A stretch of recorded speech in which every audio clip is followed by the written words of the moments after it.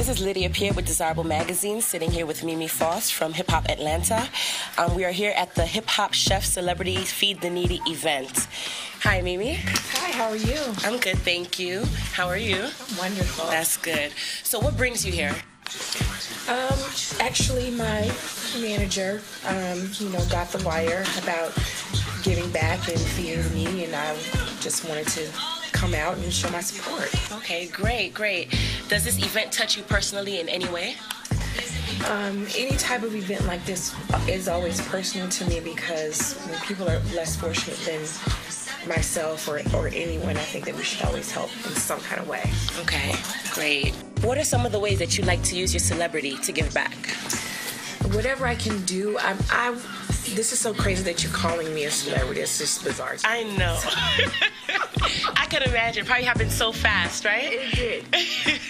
so, but whatever way, even before I started this show, I, whatever I could do to give back, you know, um, charities or you know things with young girls that I could do, things like that to help. I always tried to help.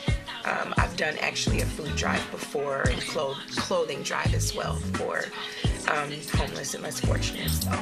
Um, if I think if you have and you can give, then you should. Okay, great, great. Um, now, you know, Hip Hop Chef is one of the names behind this event. Are you familiar with his cooking? I am not. Only on TV. I've watched and I'm, you know, it's looked amazing. So I'm here now and I get to sample and test the food out. I'm excited. Okay, great, great. So, what are your some favorite dishes in general? I just love food in general. So I don't really have a favorite dish. I just love food. Okay, okay, great, great. And what can some of your fans expect from you in the near future? Um, in the near future, I'm doing my daughter's clothing line, Okay. inspired by my two-year-old. Um, I have a lot of things on the table right now. I don't want to speak about everything until everything is finalized. But um, you will be hearing from me. Okay, good, good, For good.